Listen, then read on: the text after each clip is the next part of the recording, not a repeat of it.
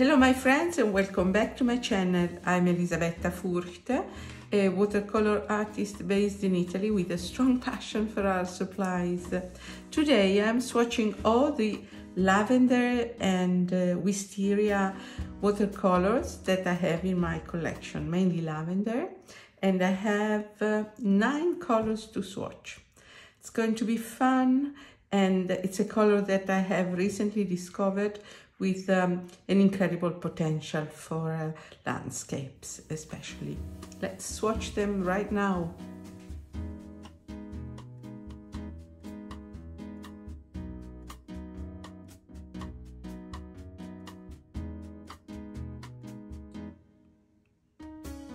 This lavender video belongs to this series of violet purples in watercolor. I will put the link down in the description box where I'm exploring all the possible violet purple that are available in watercolor. Of course, most of them are single pigments. Lavender is not a single pigment and here I have lavender by Rembrandt, very reliable brand. It's my go-to lavender, but uh, we're going to swatch it side by side with uh, other lavender that I have and that I have bought for this uh, video. Let's start right now. Let's go to... Actually, they're not nine, they are 10 because I also have Rosa Gallery, then I have um, Roman Szmal, I have four Paul Rubens. Now I have three Paul Rubens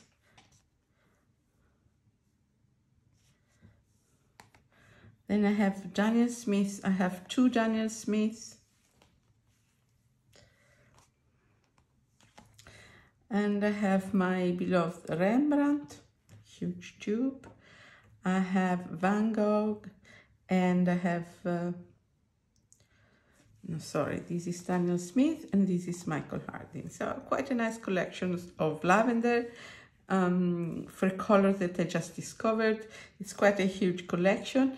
Can't wait to swatch them side by side and see the difference. Let's start.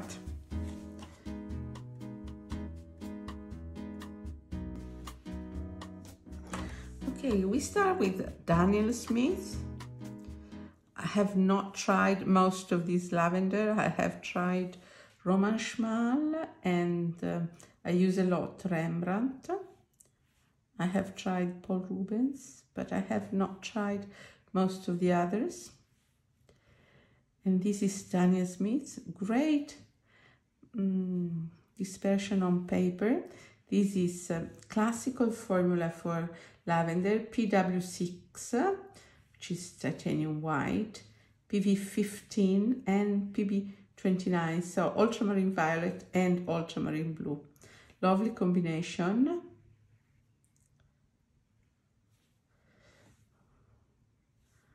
This is great color to use in sky. Look at how beautiful this is. Of course, it has a lovely granulation because uh, the ultramarine colors are naturally granulating. Lovely, very lovely. Starting with Daniel Smith because uh, I always start uh, either with uh, Winsor & Newton, but Winsor & Newton doesn't offer a lavender so far, not that I am aware of. And now Rembrandt. Let's see what, let's see if there is a difference. The formula is identical, but this is uh, more, this is darker and more leaning towards blue, I think.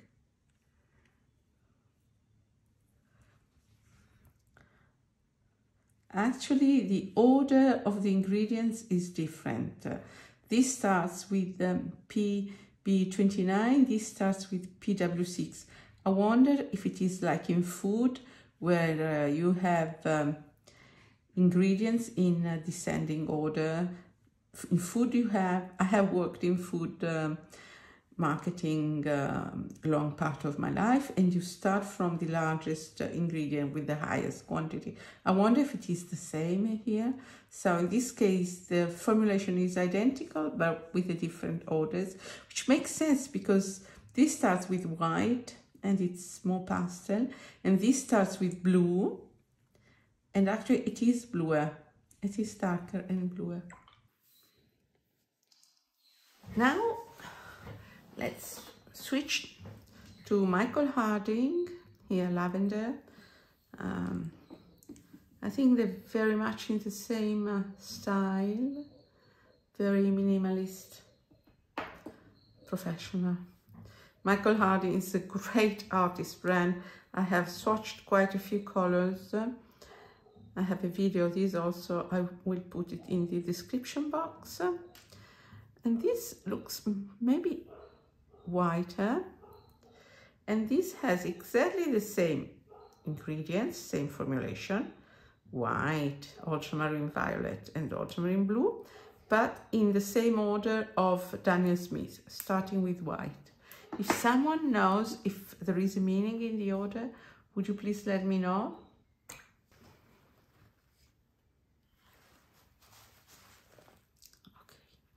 I have this feeling that uh, there is a lot of white in this.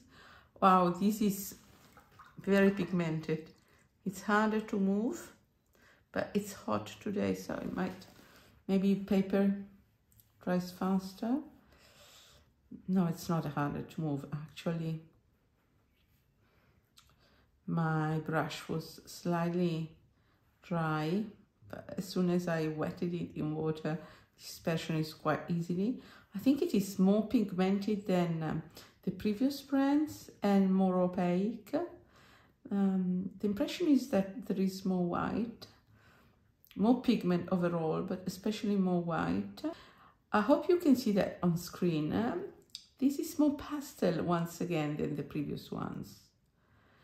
Now that they are drying, what I'm saying about the Rembrandt is maybe not so true. They have a, they dry very differently from the wet face to the dry face. Very interesting color.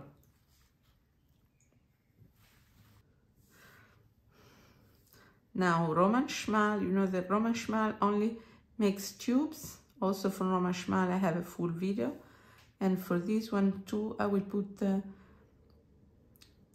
link in the description box this is absolutely wonderful wow Roman Szmal is a beautiful beautiful brand of fine arts these watercolor paint by Roman Szmal are just wonderful very pigmented a soft granulation which is apparent in all other brands. Michael Harding, not yet, we'll see when it dries, but very apparent already in Roman Szmal. It's nice because each of them has a slightly different hue. And here the formulation is slightly different for the first time because they don't have ultramarine violet, but they have manganese violet PV16. So they have titanium white, ultramarine violet PB21, and PV16 manganese violet. The result is different, but very beautiful. Also, I have a full video about all my manganese violets. I'll put the link as well. Let's go to Van Gogh. Van Gogh is uh, the student grade brand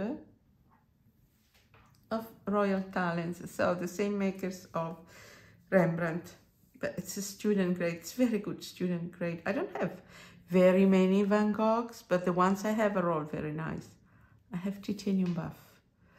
In principles, this should be less saturated than uh, its cousin Lavender by Rembrandt, being Rembrandt the artist grade and Van Gogh the student grade. But this is really lovely, this one. It is uh, pigmented.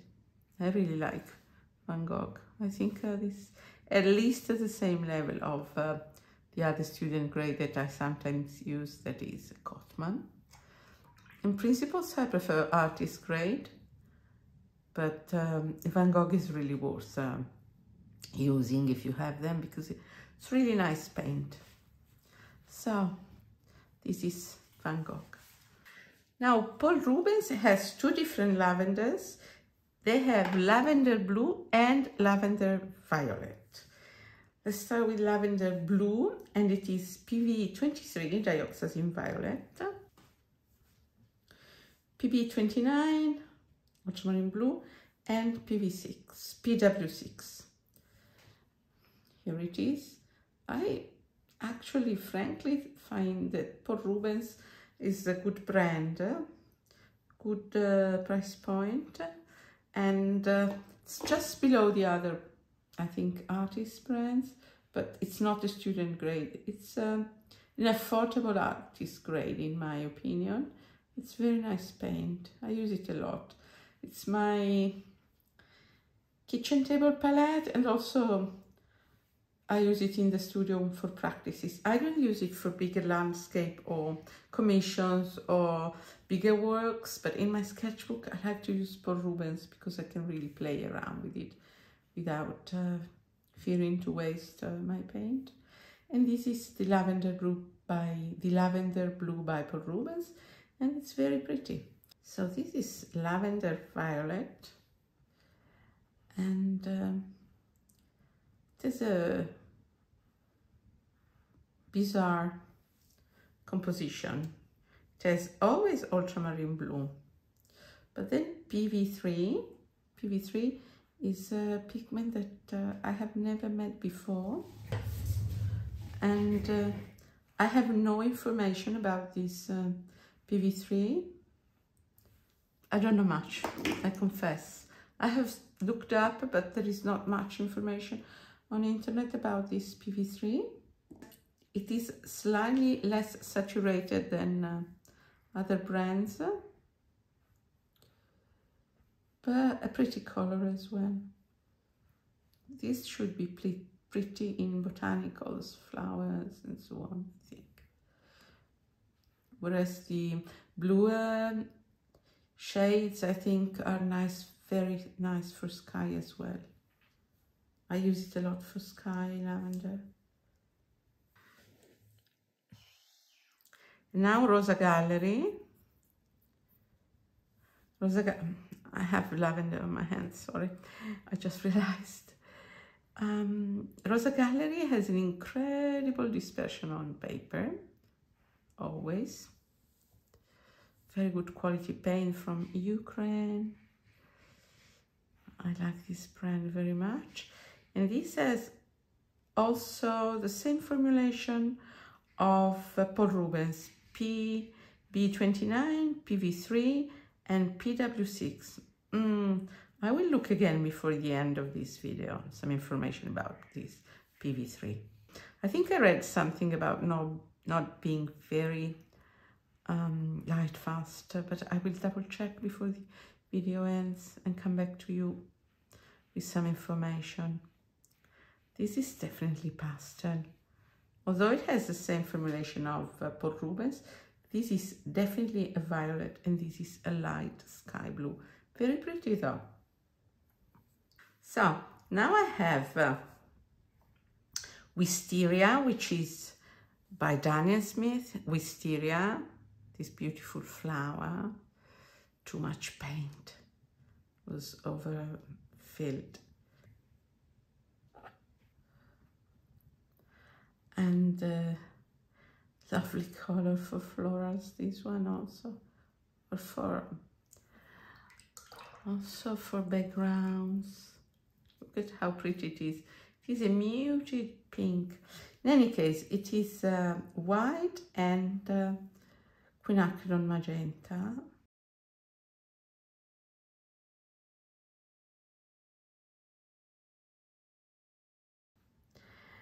PR 122 and it gives a, a muted shade of pink very soft very nice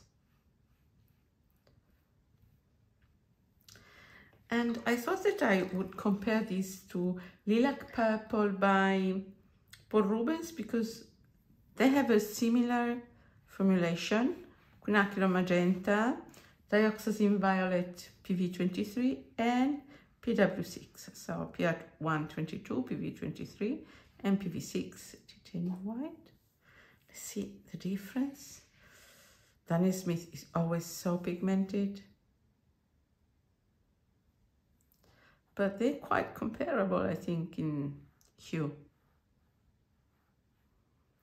This is slightly darker and slightly more bluish because of the presence of the dioxazine violet.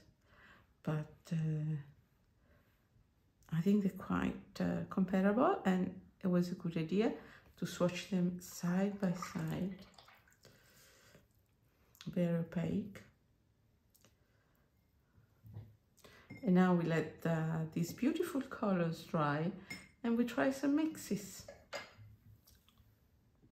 Okay, for my mixes, I will use my Rembrandt, which is uh, such a large tube that uh, it's a good idea to use it for mixes. And as usual, I will take some colors from my Paul Rubens uh, palette where there are some basic colors, primary and secondary, and I will mix them together. As usual, I will mix on paper, which is easier and fun.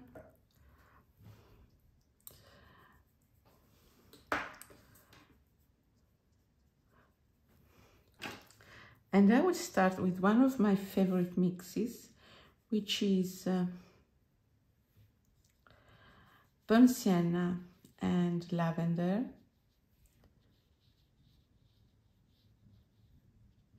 A muted gray.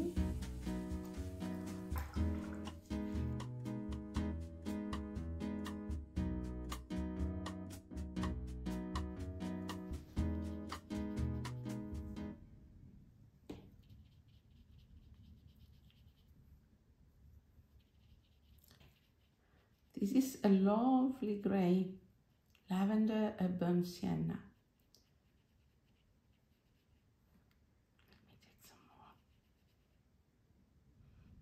Sienna is a bit overwhelming compared to um, compared to lavender because lavender is so delicate. So the ratio will not be 50-50, but slightly more lavender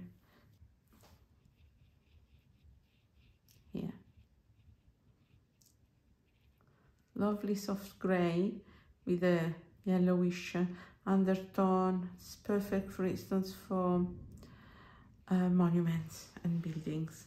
For monuments, you often have this yellowish uh, warm stone, and I think this mix is perfect. I'm curious to see what happens if I mix uh, lavender and uh, a primary yellow like cadmium yellow, cadmium yellow.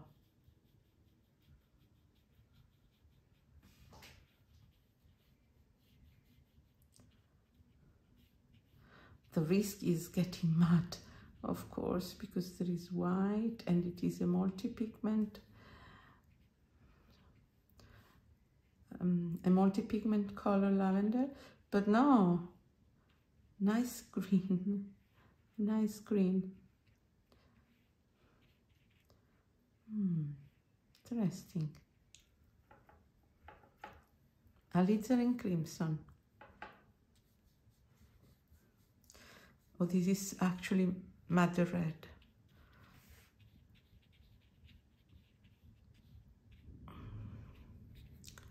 Mm, thunders. There is the sunshine out but I can hear some faraway thunders, which is a very good thing. It's raining a lot here and we had a serious draft. So I'm so happy. My garden is um, very happy about this rain. Oh, look at this. Look at this. Oh, with alizarin crimson is delightful um, reddish violet. So nice. Very pretty. Let's mix it now with um, ultramarine blue. Uh, this is a mix that I often use in Sky, ultramarine blue and lavender.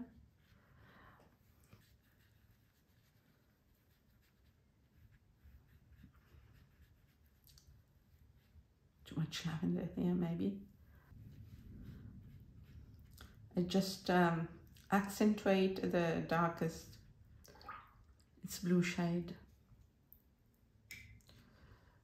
And now I'll try cerulean, which is also a nice combination for sky. This is PB36, one of my favorite colors. And this one by Paul Rubens is very nice. One of my favorite blues. For, for seaside, also for seascape. And uh, I think it just uh,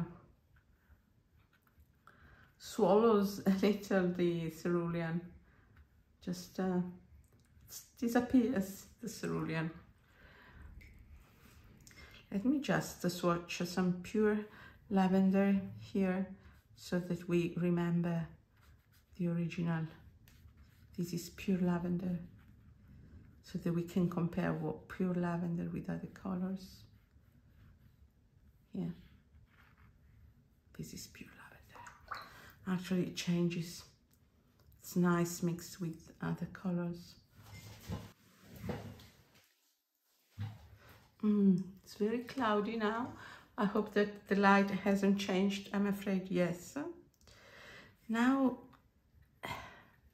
this is uh, Terra di Pozzuoli, which is a sort of um, transparent English red.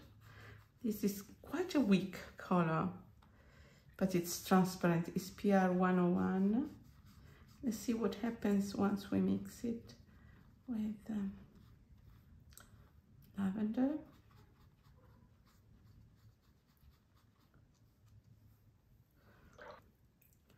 We should get a sort of gray, I think.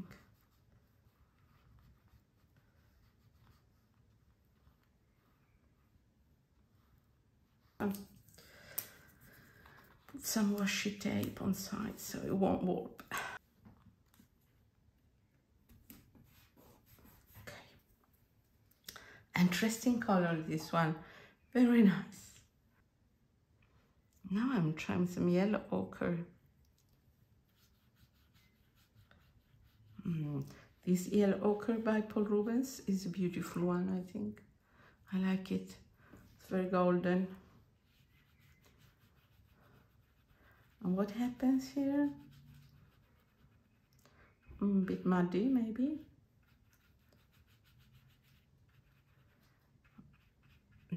This is, this is unexpected.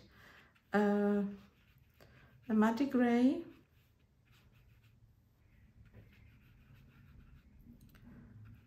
A muted color. Interesting. They're all interesting, these mixes with lavender. Because lavender tends to granulate and separate, so it's interesting. I'll take some phthalo green. PG7. I use, I use phthalo green because it's one of the very few single pigments greens.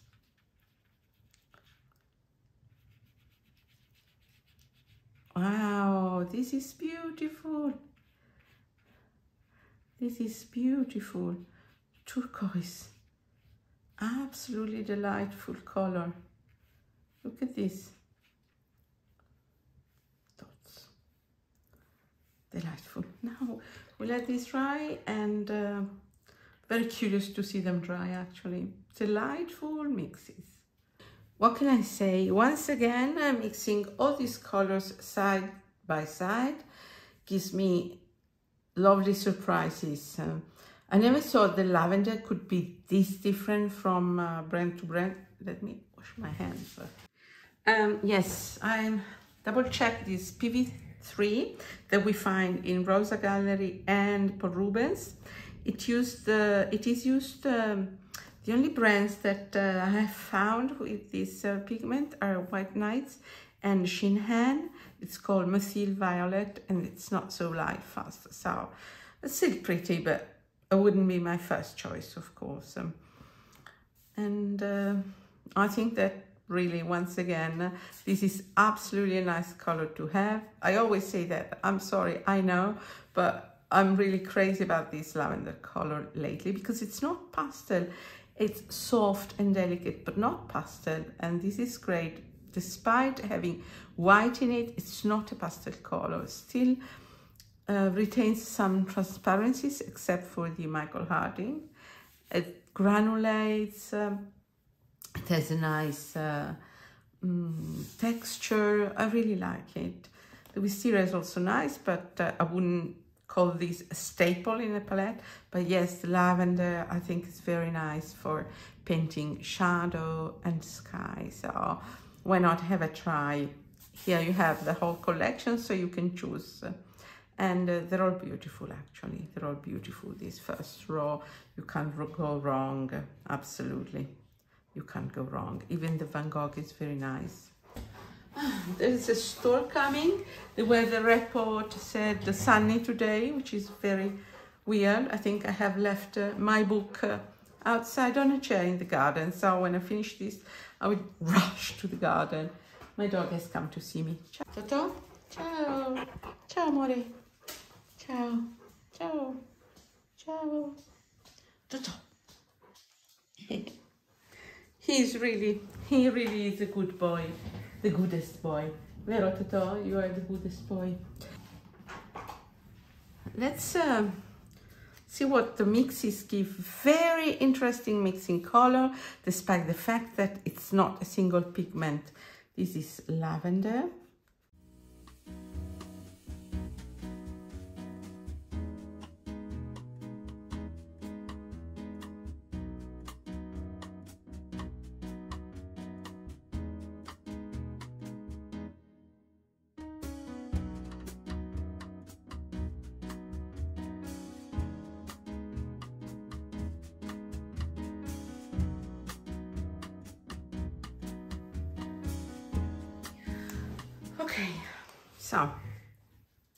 Course I made a mistake.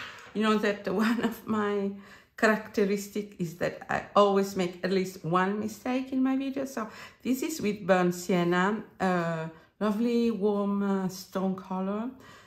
Keep this in mind. This is the pure lavender, so you can compare pure lavender with the other colors. You know what? We swatch the other colors side by side.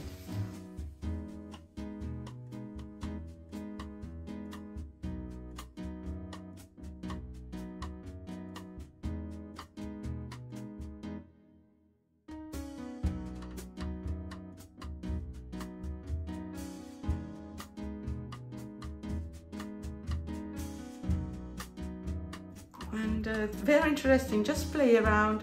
Let me know if uh, you have a lavender which one and uh, and if you use it for mixes. I never thought it could be so interesting for mixes. The only mixes i used to do was with ultramarine blue or burnt sienna for this uh, stone color. That's very interesting. But they're all really nice especially the phthalo green. The Pozzuoli red is wonderful. I'm not sure how to use it, but it's wonderful. For I think for sky, it is absolutely wonderful. Clouds. And uh, this yellow is absolutely delightful. So let me know what you think. Let me know your experience. I'm always happy to chat with my followers and I see you in my next video. I'm rushing to save my book that I left uh, under the rain in the garden. Ciao, ciao. Thank you. Ciao.